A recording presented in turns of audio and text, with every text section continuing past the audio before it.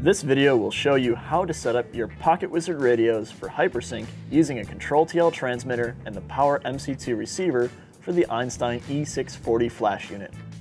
What's Hypersync? Find out more on wiki.pocketwizard.com.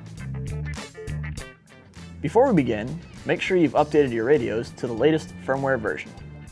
You can update your radios by connecting each one to your computer, running the Pocket Wizard utility, and clicking Check for Updates.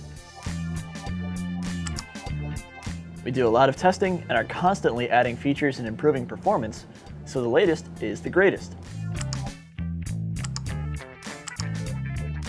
Let the update finish before you disconnect your radio.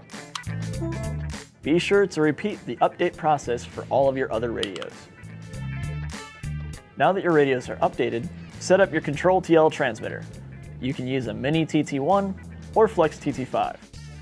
We're using a Mini TT1 in this example. Connect your transmitter to the utility. You'll need to make just a few settings adjustments before using Hypersync. Click on Settings and make sure Advanced Mode is checked in the bottom left corner. Checking this box exposes additional tabs for custom configuration, but we'll only need to change a few things for Hypersync.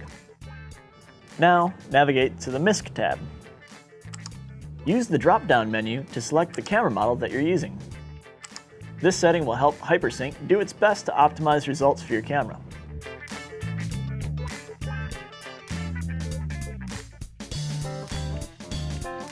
Remember to click Apply Changes.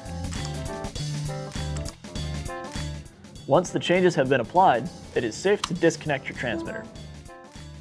Now we'll set up the receiving Power MC2 for Hypersync. Start by connecting it to the utility. Next, click on the Hypersync tab. One last step, navigate to the option for Optimize Hypersync Automation 4. Choose if you want to use Reduce Clipping or Highest Energy. Reduce clipping optimizes for reducing or eliminating hard black clipping at the bottom of the frame up to your camera's highest shutter speeds, but may cause more noticeable gradation in frame at all shutter speeds. Highest energy puts more flash energy in the frame at hypersync speeds closer to your camera's sync limit, but may cause bottom frame clipping at your camera's highest shutter speeds.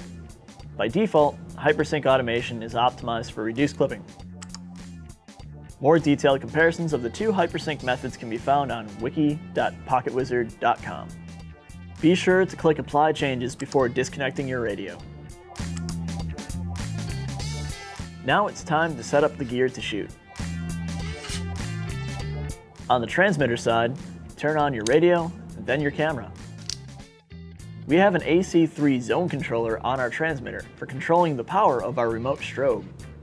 We're using full power, which will yield the best possible hypersync results. Next, power on the flashes and receivers. Wait a second or two for the flash and radio to communicate with each other. Now we're ready to fire the camera. The first shot after turning on your radio is a calibration shot. We recommend that you take the shot at 1 160th of a second. There will be no flash during the calibration shot. Now you can set your camera to whatever shutter speed you'd like and take a picture with flash.